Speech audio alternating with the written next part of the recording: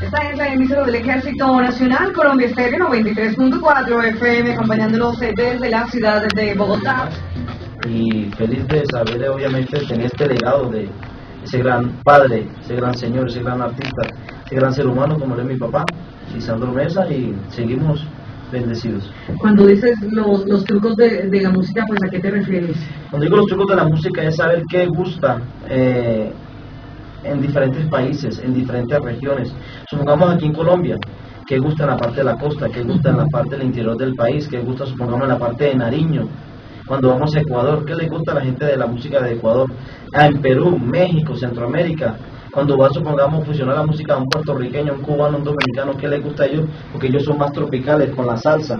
Entonces, lo que mi padre ha hecho en la música, como temas como Entre Rejas, eh, Estás Pillado, Baracunátara, es, ese, ritmo, son, ese es de salsa, pero mi padre le, le, implementa el acordeón, entonces es como una salsita con acordeón. El que no conoce obviamente de música o de los ritmos, pensará que es un vallenato, pero no, es una salsita con acordeón porque la parte rítmica la bailas como salsa. Si tú bailas el tema entre rejas, no lo vas a bailar como una cumbia o como un paseo, lo bailas en ritmo de salsa y por eso que en Cali, Lisandro Mesa es el artista que más disco de feria de Cali se ha ganado debido a la fusión que él ha hecho, porque ya le agarró como que la maña a lo que gusta en Cali. Temas como La Matica para fin de año, La Bella, eh, las cumbias que mi padre hace, que sabe que gustan para México, para Centroamérica, Ecuador, Perú, Argentina. Entonces, todos esos son trucos que hay que saber y fusionarlos en la música para, poder abrirte campo y poder obviamente extender tu música colombiana o, el folclore a nivel, a nivel internacional. Entonces, debido a lo que he visto de mi padre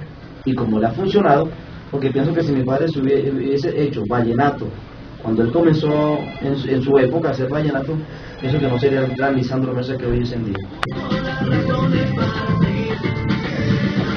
Además que es una canción inédita. Es correcto, sí, es de Jorge Luis Bolaño Iglesias, un compositor obviamente de, de, Valle, de Valledupar.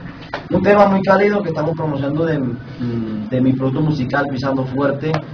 Eh, feliz de ver obviamente la acogida que ha tenido en el exterior este tema y ahora trayéndolo aquí a Colombia y esperando que también sea un, un éxito como lo ha sido en otros países y esperar obviamente con el apoyo de todo el público, de todos los medios de comunicación, ya que es un tema muy cálido, muy bueno. ¿Quién escribió la canción, Juan José? Jorge Luis Polaño Iglesias. Bueno, no imaginé cuál es la historia que está detrás de esa canción. No imaginé que me enamoraría de tus bellos ojos y dulces caricias. Yo tampoco me imagino, pero así son las cosas, así es el amor. Así es el amor.